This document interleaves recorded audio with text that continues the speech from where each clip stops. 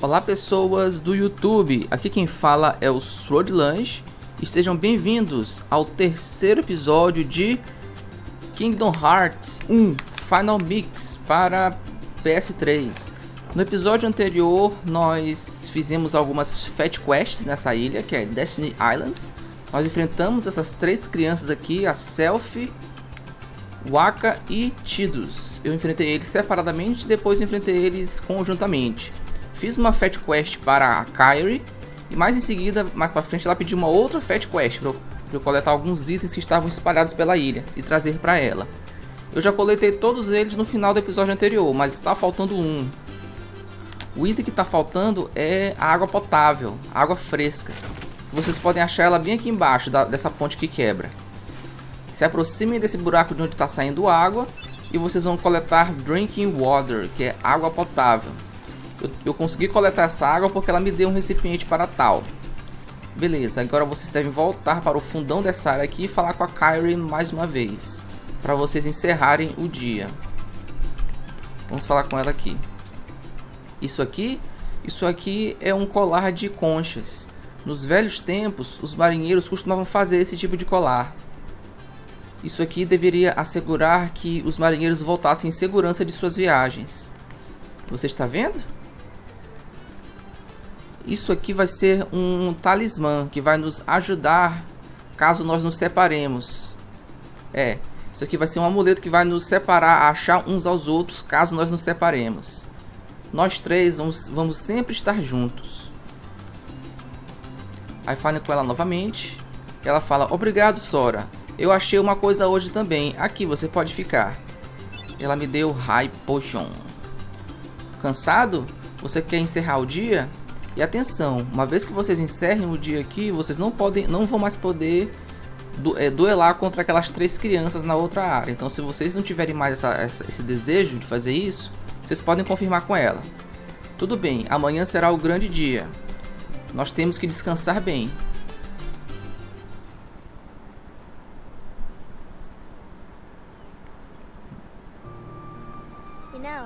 Você sabe, Rico mudou. O que você quer dizer com isso? Bem... Você está bem? Sora, vamos pegar essa jangada e ir para longe, só nós dois. Hã? Ah, estou só brincando. O que que deu em você? É você que mudou, Kyrie. Talvez. Você sabe, quando eu era pequena, eu tinha medo de início, mas agora eu estou preparada. Não importa para onde eu vá ou o que eu veja, eu sei que eu posso sempre voltar aqui. Certo? Sim, mas é claro. Isso é ótimo. Sora, nunca mude. Hã?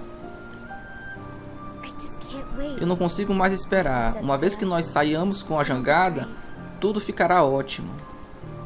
Tudo será muito legal.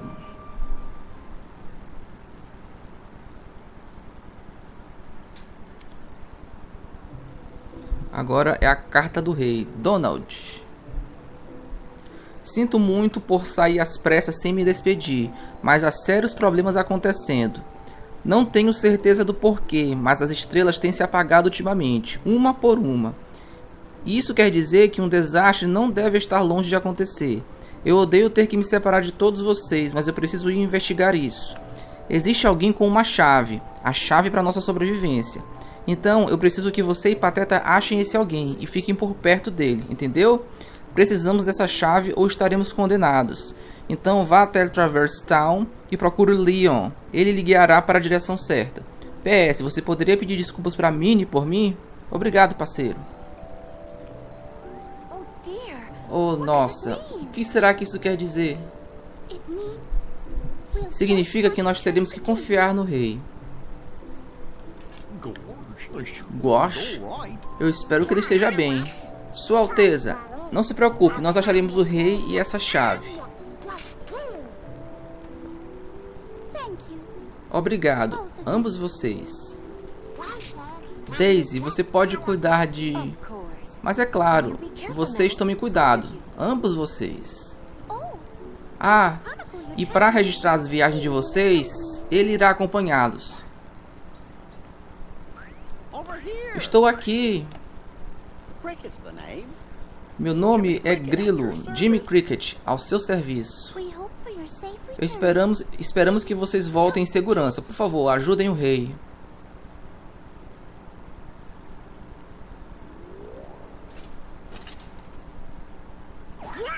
Você vem também.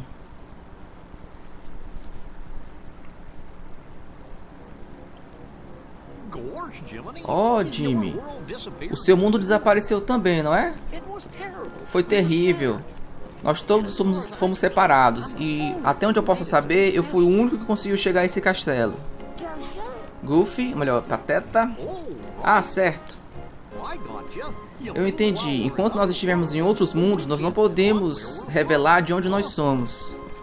Nós temos que proteger a, a fronteira mundial. A ordem mundial. Ah, certo. A ordem mundial.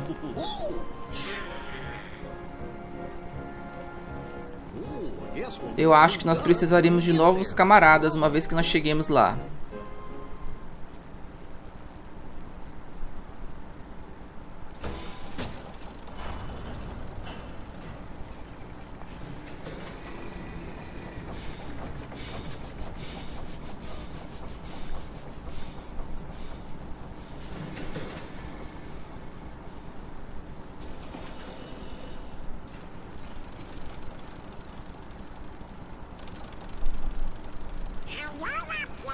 Aí.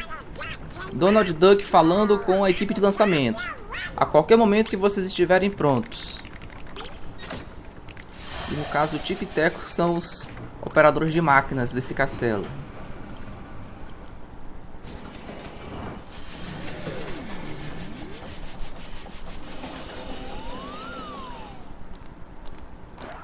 Olha, o Pluto vai com a gente.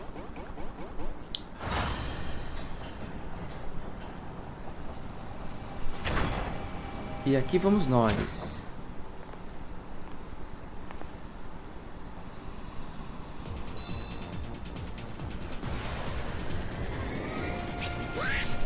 Vamos nessa.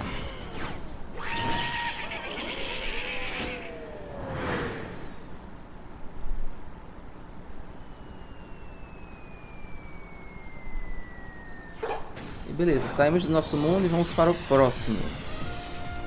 Pelo menos o Pateta e o Donald. E agora voltamos para Destiny Islands para ver o que vai acontecer com Sora e seus amigos. Sora está sozinho no seu quarto sem ter muito o que fazer. Está só esperando o momento certo.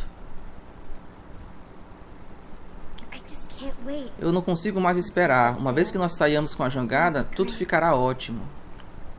Ele pensa. O que a Kyrie disse para ele. Uma tempestade? Ah não, a jangada.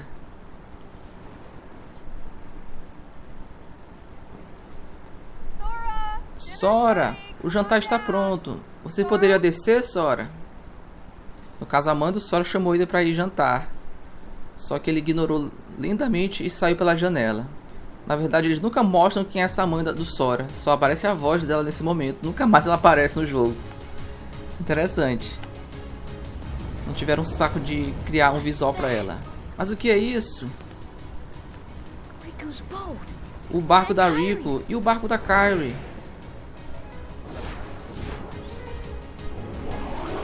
Opa, são aqueles monstrinhos que apareceram no primeiro episódio. Só que dessa vez eu não posso atacá-los, eles são imunes aos meus ataques. Ó. Então é melhor eu fugir. Eu dar no pé e ir para aquela ilhota onde eu tinha duelado contra o Rico anteriormente. Só vocês... Oh, não era para subir aqui.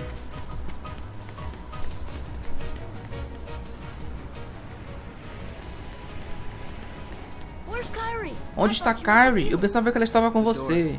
A porta se abriu. O quê? A porta se abriu, Sora. Agora nós podemos ir para o mundo exterior. Do que, que você está falando? Nós temos que achar Kyrie. Kyrie vai conosco. Uma vez que nós passemos daqui, talvez nós não podemos mais voltar. Talvez nós nunca mais veremos nossos pais novamente, mas não há mais retorno. Essa é a nossa única chance. Nós não podemos deixar o medo nos impedir. Eu não, estou, eu não tenho medo da, da escuridão. Rico. É, ele não tem medo da escuridão, mas será que o Sora tem? Ele está sendo envelopado pelas trevas. Parece estar muito confiante em relação a isso, de que ele está fazendo certo. Como eu já falei pra vocês, pessoal, esse Rico basicamente é o Sasuke do Sora. Então ele vai ser meio que um rival, meio que um antagonista pessoal do Sora, no, do decorrer do jogo.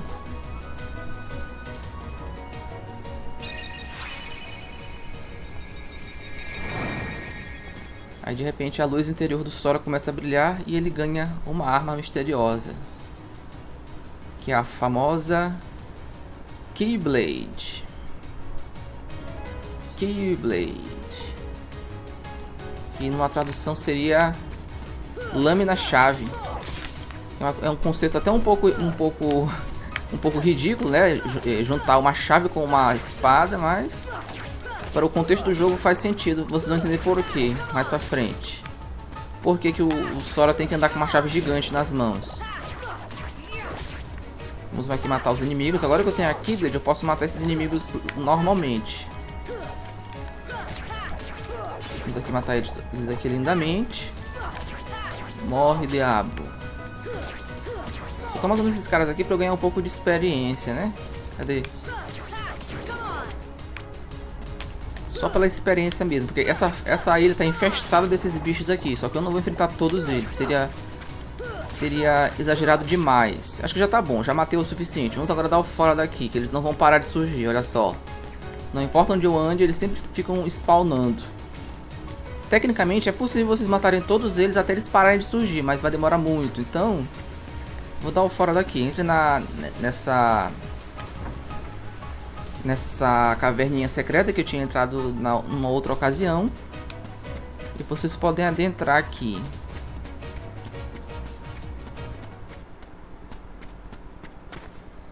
Kyrie. Kyrie. Sora. Sora.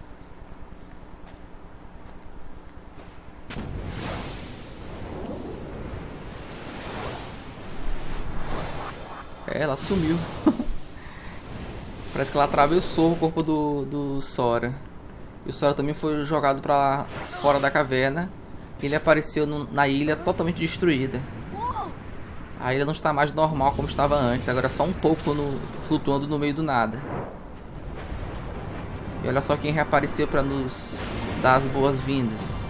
Aquele mesmo chefão que eu enfrentei no primeiro episódio. E a estratégia é basicamente a mesma, pessoal. Ataquem ele lindamente. Ele tem os mesmos ataques que ele tinha antes, mais um ataque extra que ele não mostrou ainda pra gente. Ó, esse ataque ele mostrou pra mim da outra vez. Ó, eu posso subir... Oi, eu queria subir pra bater na, no rosto dele. Quando vocês batem no rosto dele, vocês ganham, podem ganhar experiência extra ganhando tech points. Porque nesse jogo, quando vocês batem nos inimigos de uma maneira bem bem única, bem mais estilosa, vocês ganham tech points, que basicamente é, é como se fosse experiência extra. Deixa eu ver se eu posso subir aqui novamente. Ai, ai, ai. É, acho que não deu não. Vou ter que matar esses soldadinhos que estão no chão, esse é o problema. Só que por enquanto eu vou ignorar eles até onde eu puder. Ó, agora que eu não tenho, eu não posso mais alcançar o rosto daquele cara, eu posso agora bater nesses soldadinhos. Porque também não é bom você deixarem eles acumularem por aqui. É bom sempre vocês deixarem a coisa sob controle. Ué? Ah, eu posso bater no rosto dele? Ah, ele tá acumulando um Kamehameha. Tome isso. Olha só, Tech Points. Toda vez que vocês batem no rosto dele, vocês ganham dois pontos de Tech Points, que equivale a dois pontos de experiência, né? Porque Tech Point basicamente é experiência, mas não é experiência por vocês terem matado os inimigos. É experiência por vocês terem feito alguma coisa estilosa na batalha. Seja fazendo um parry dos inimigos, ou seja... Sei lá, fazendo outra coisa. Atacando onde, onde vocês não comumente atacariam, como por exemplo o rosto dele aqui. Vamos lá. É, não deu. Tome isso. De vez em quando vocês ganham tech points por rebater os projetos dos inimigos. Não sei se vocês se lembram, quando eu enfrentei o Waka, aquele garoto que solta uma bola em mim. Se eu conseguisse rebater a bola para ele, eu ganhava um tech point. Aliás, lá era um ótimo momento, é, ponto de farm de experiência logo no começo do jogo. Para quem quisesse ganhar bastante, bastante levels antes de começar realmente o jogo de verdade, lá era um ótimo, um ótimo momento para isso. Se assim vocês desejassem. Felizmente esses soldadinhos eles dropam vida pra mim, então é meio difícil eu perder nessa batalha. Eu também acho que eu tenho uma potion no meu estoque, que eu posso usar em, último, em última instância. Agora vamos aguardar pra ver o que ele vai fazer. Ele tem que, ele tem que descer com os braços dele, porque senão não vai dar certo. Olha agora. Bate, bate no rosto dele. Ó, tech points. Agora ele vai soltar o Super Kamehameha. Na verdade, isso aí é muito parecido com aquela outra, aquela outra, aquele outro ataque das bolas é, teleguiadas. Só que dessa vez ele solta a bola pra cima e começa a chover pequenas bolas de trevas em mim. É um ataque muito mais duradouro, porque por muito tempo fica, fica, fica, fica chovendo essas bolas de trevas. Isso pode me atrapalhar enquanto eu tô atacando ele, mas não por muito tempo. Vamos aqui atacar ele. Acho que ele já tá quase morrendo, não é possível. Será que eu posso subir novamente no rosto dele? Aê, matei o desgraçado e ganhei mais um level up. Vocês perceberam que eu ganhei dois level ups. Um durante a batalha e outro ao matar ele. O que eu ganhei durante a batalha foi por eu ter ganhado alguns tech points e matado alguns soldadinhos. Beleza, derrotei ele mais uma vez. Só que pelo visto eu não pude evitar ser sugado pela bola de trevas.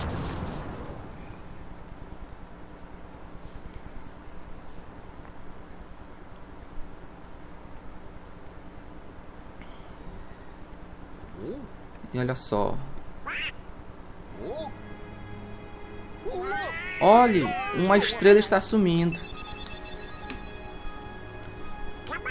Vamos lá, temos que nos apressar.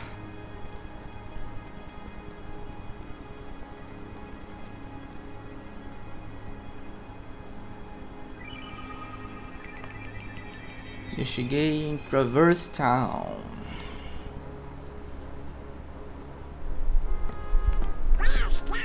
Onde está aquela chave? Ei, você sabe, talvez nós devamos ir achar Leon. Uh, Donald, você sabe? Eu aposto que... Ah, o que, que você sabe, seu idiota? O que, que eu sei? Hum, vamos lá, Pluto. É, pelo visto ele estava querendo chamar a atenção do dono de que o Pluto está se separando deles, mas foi por um bom motivo. O Pluto conseguiu farejar o Sora desacordado num beco misterioso. Agora, como o Sora chegou aqui é um mistério.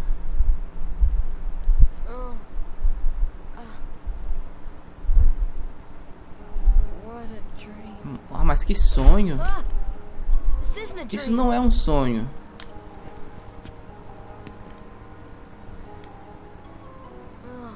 Onde eu estou? Ah, cara. Você sabe onde nós estamos? Ei!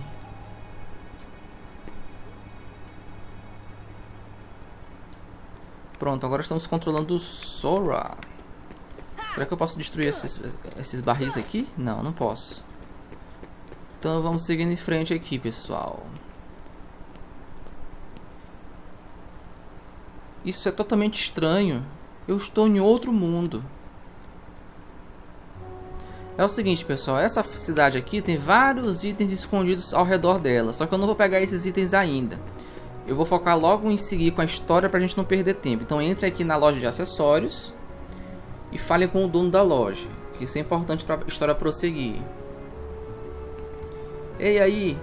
Como é que eu posso lhe ajudar? Ei, é apenas uma criança. Eu não sou uma criança, meu nome é Sora. Tudo bem, tudo bem, se acalma. E por que essa cara triste, Sora? Você perdeu alguma coisa? Não, bem, talvez. Onde é que nós estamos? Hã? Traverse Town. Então, vovô, aqui realmente é um outro mundo? Não me chame de vovô, meu nome é Sid. De qualquer forma. Não tenho certeza do que você está falando, mas certamente aqui não é a sua ilha. Hum, Eu acho que é melhor eu começar a procurar por Rico e Kyrie. Bem, boa sorte com seja lá o que você esteja fazendo. Se você acabar eh, entrando em crenca, venha até aqui. Eu vou cuidar de você. Lembrando que ele é um lojista, ele, vocês podem comprar itens dele. No caso, ele vende acessórios. Só que eu não tenho nada de dinheiro no momento, porque todos os inimigos que eu enfrentei até agora dropavam apenas vida e não dinheiro, mas isso vai passar a mudar. A partir de agora, toda vez que eu encontrar algum inimigo novo, é, eles vão dropar dinheiro também. Então eu vou começar a, a formar um estoque monetário. Aliás, antes de eu sair daqui, subam aqui nessa prateleira que temos um baúzinho para vocês abrirem. Com Mutual Charge. Esse aqui vai ser o único item que eu vou pegar por enquanto, porque ele tava bem na minha cara, bem na minha frente. Mas o resto, o restante dos itens que estão na minha volta aqui, eu não vou pegar ainda. Eu vou logo focar em ir para o segundo distrito. Aqui, essa cidade é dividida em três distritos. Tem o primeiro distrito, que é onde eu estou agora, onde tem as lojas. Tem o segundo distrito, que é onde tem o hotel. E tem o, ter o, terceiro distrito que, sei lá, é só passagem mesmo, não tem nada de muito importante. Vamos agora para o segundo distrito.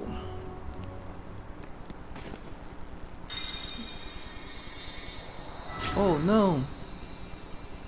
O coração dele foi sugado pelas trevas. Ao melhor estilo Sailor Moon.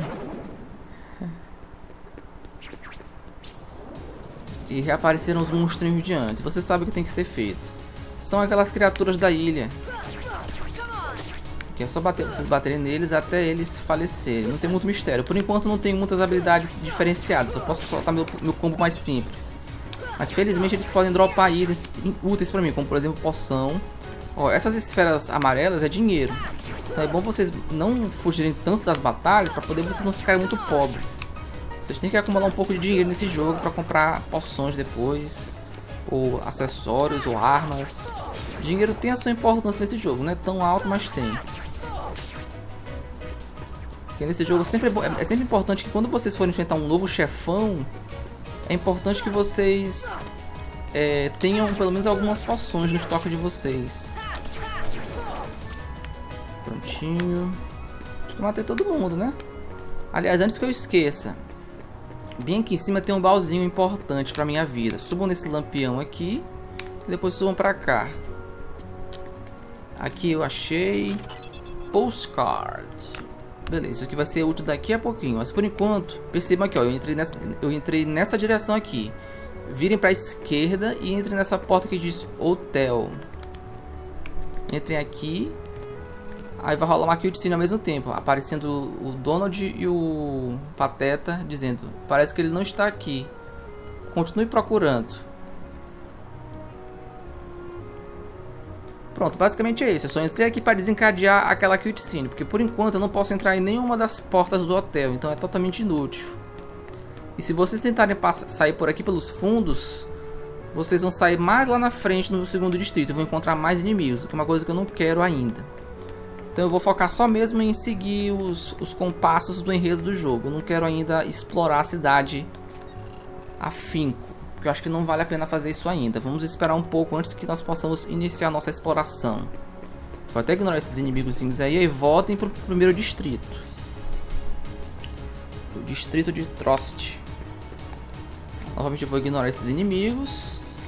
Que eu não tenho tempo para isso. Ah, aliás, aqui em cima ia ter um outro item, só que eu teria que ter subido pelo outro lado da, da casinha, então não adianta.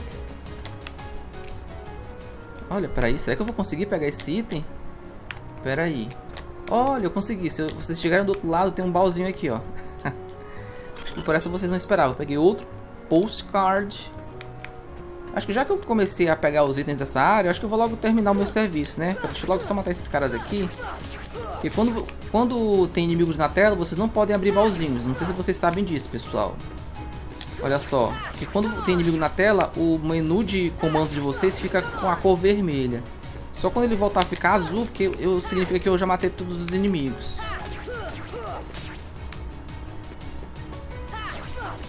Pronto, eu matei todo mundo, aí o meu menu vai voltar a ficar azul, exatamente. Quer dizer que não tem mais perigo à vista.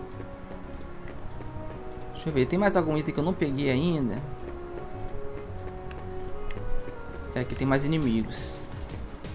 Eu sei que tem um item bem aqui. Dentro da loja de itens. Essa aqui é uma outra loja diferente daquela loja que eu fui anteriormente. Ó, vocês podem comprar itens aqui. Ei, o que, que você quer? Ah, você quer comprar itens. Ó, aqui vocês podem comprar poções. Só que eu tenho muito pouco dinheiro ainda. Não tenho fundos para comprar esse tipo de coisa. Então...